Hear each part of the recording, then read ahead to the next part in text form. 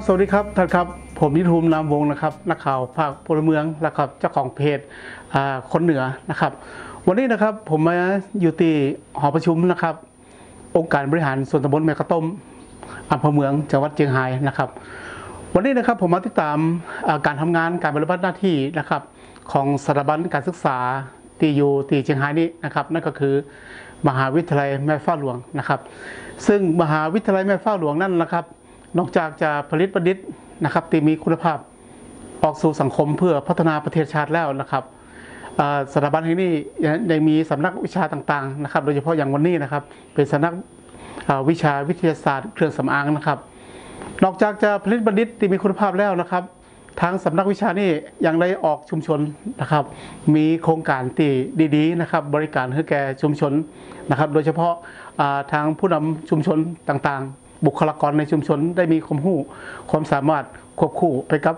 การผลิตบัณฑิตที่มีคุณภาพตัวเองนะครับ อย่างเช่นวันนี้นะฮะทีนี้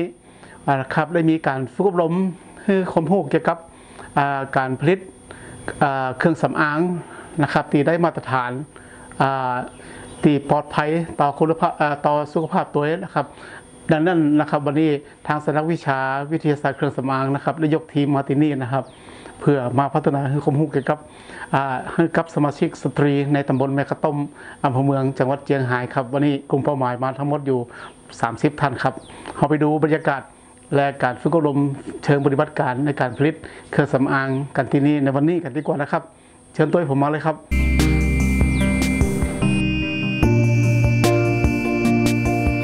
โครงการอบรมการผลิตเครื่องสำอาง ประเภทผลิตภัณฑ์บำรุงผม ของมหาวิทยาลัยแม่ฟ้าหลวง เมื่อวันศุกร์ที่ 16 สิงหาคม 2562 ณ ตีห้องประชุมองค์การบริหารส่วนตำบลแม่กระต้มอำเภอเมืองจังหวัดเชียงราย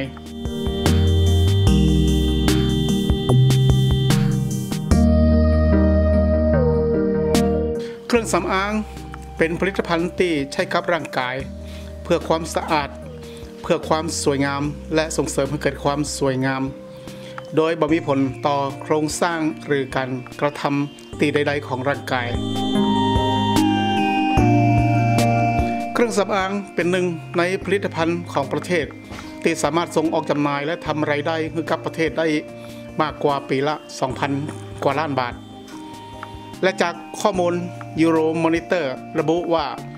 ตลาดเครื่องสำอางในประเทศไทยปี 2560 มีมูลค่ารวมกว่า 1.68 แสนล้านบาท และมีอัตราเจริญเติบโตถึงร้อยละ 7.8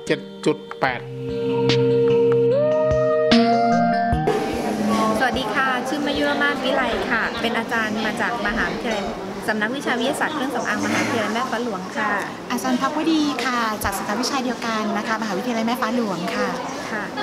สำนักวิชาวิทยาทยาศาสตร์เครื่องสำอางของเรานะคะ เปิดมาเป็นเวลา 14 ปีแล้วค่ะ เป็นที่แรกของประเทศไทย ที่เปิดสอนในสาขาวิชาวิทยาศาสตร์เครื่องสำอางค่ะ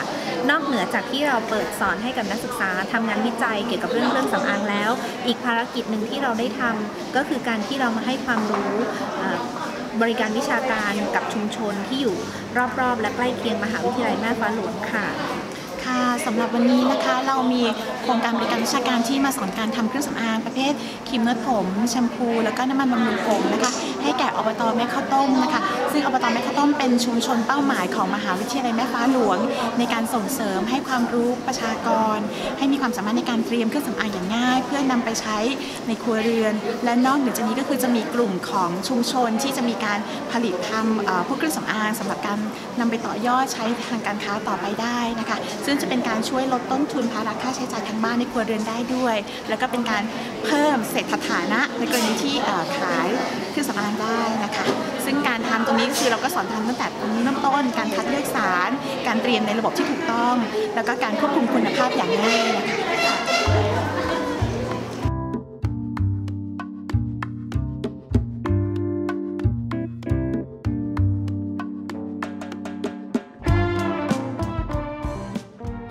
สำนักวิชาวิทยาศาสตร์ เครื่องสำอาง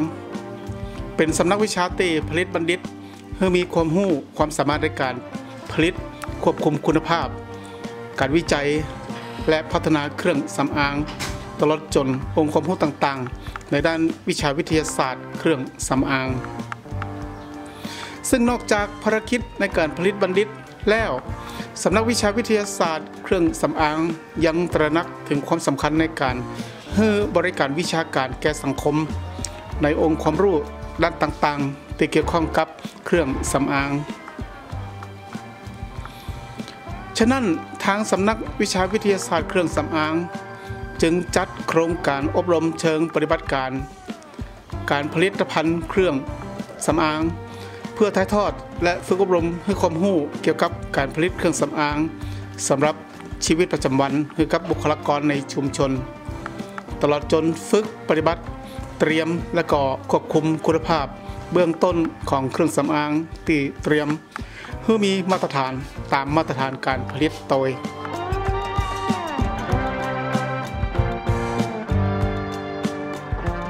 คิดว่าโครงการนี้เป็นโครงการที่ดีนะเจ้า เพราะว่ามันจะทำบูรณาการร่วมกันกับมหาลัยแม่ฟ้าหลวง แล้วก็ในน้ำของตัวน้องเป็นนักพัฒนาชุมชน ก็ประสานงานร่วมกัน โดยที่อบตไม่ข้าวต้ม อ่าคือ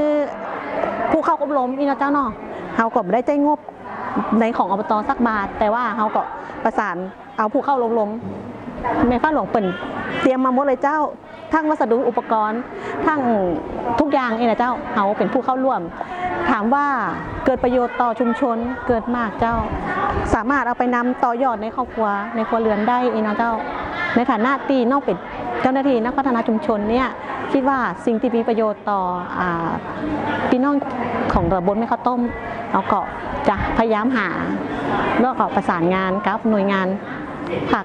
ทั้งวางภาครัฐภาคเอกชนเนี่ยเจ้า ในอนาคตนี่ก็ได้ประสานกับอาจารย์เวลาอาจารย์ว่าฝ่ายวิชาการเปิ้นจะมีอยู่หลายๆโครงการอยู่เจ้า พอตีเปิ้นคือต่อแบบสอบถามมาเนี่ยมีอยู่ประมาณเกี่ยวกับเครื่องสำอางนี่ก็จะมีเรื่องสบู่ เครื่องสำอางผิว ผิวหน้าผิวอย่างที่มีอยู่เจ้า ถ้าใครสนใจก็เดี๋ยวน้องก็ทำหน้าคิดว่าฉันน่าจะประสานงานกับอาจารย์ได้อยู่เจ้า เพื่อให้ผู้เข้ารับการฝึกอบรม มีความรู้เบื้องต้นในการผลิต การควบคุมคุณภาพ เครื่องสำอางประเภทผลิตภัณฑ์บำรุงผม ตามมาตรฐานการผลิตภัณฑ์ชุมชน หรือมอพอชอ ให้ผู้เข้ารับการอบรม และได้ฝึกปฏิบัติการเตรียมและการควบคุมคุณภาพเบื้องต้นของผลิตภัณฑ์เครื่องสำอาง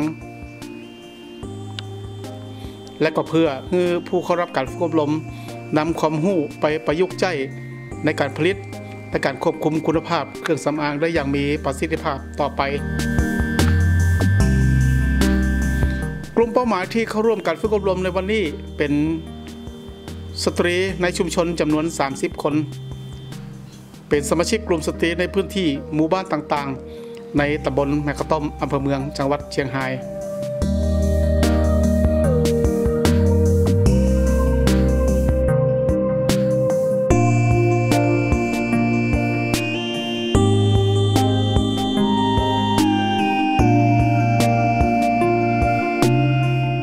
เอาดีเจ้าได้ความรู้ดีเจ้า ทำมันอย่างพองทำแชมพูอ่าและครีมหนวดผมเจ้า อยากครับก็อยากอยู่เจ้าพอก็ได้อยู่เจ้าไปทำก็ไปทำก็ได้อยู่เจ้า อบรมนี่มีประโยชน์ต่อมาวันนี้มีเจ้ามีนักเลยเจ้าประโยชน์อะไรอะอ๋อเพราะว่าเอาไปทำเองแล้วก็ลดต้นทุนการใช้จ่ายในครอบครัวละเจ้า ครับเป็นจะได้พงครับ การฝึกอบรมวันนี้นะฮะก็มีประโยชน์อย่างยิ่งนะครับ ต่ออสมาชิกหรือว่าบุคลากรในชุมชนนะครับ ได้มีความรู้ออย่างน้อยกับพื้นฐานนะครับ ที่จะสามารถนำไปสู่การต่อยอดในการสร้างผลิตภัณฑ์โดยเฉพาะเรื่องเกี่ยวกับเครื่องสำอางบำรุงผมในวันนี้นะครับ ก็นอกจากจะมีความรู้พื้นฐานแล้วนะครับ ยังสามารถต่อยอดไปสู่การผลิตในเชิงธุรกิจในในเชิงพาณิชย์ โดยนะฮะสามารถที่จะทำแล้วก็พัฒนาผลิตภัณฑ์ควบคุมมาตรฐานผลิตภัณฑ์คุณภาพ ไปสู่ผลิตภัณฑ์ที่สามารถส่งออกขายสร้างรายได้ให้กับพี่น้องในชุมชนตัวนะครับ แต่ว่าอย่างน้อยสุดนะครับ เมื่อพี่น้องชุมชนมีความรู้ในพื้นฐานตรงนี้แล้ว ก็สามารถนำไปผลิตเครื่องสำอางโดยเฉพาะผลิตภัณฑ์บำรุงผมนี่นะครับสำหรับใจเองนะครับ เพราะว่า มาต้องได้ซื้อจากตลาดนะครับ เมื่อมันต้องได้ซื้อนะครับเงินก็ยังอยู่ในกระเป๋านะครับเป็นการประหยัดตามแนวเศรษฐกิจพอเพียงของในหลวงรัชกาลที่ 9 ตัวนะครับ ผมยุทธภูมิรางวงนะฮะวันนี้ผมรายงานจากหอประชุมองค์การบริหารส่วนตำบลแม่ข้าวต้มอำเภอเมืองจังหวัดเชียงรายครับ สวัสดีครับ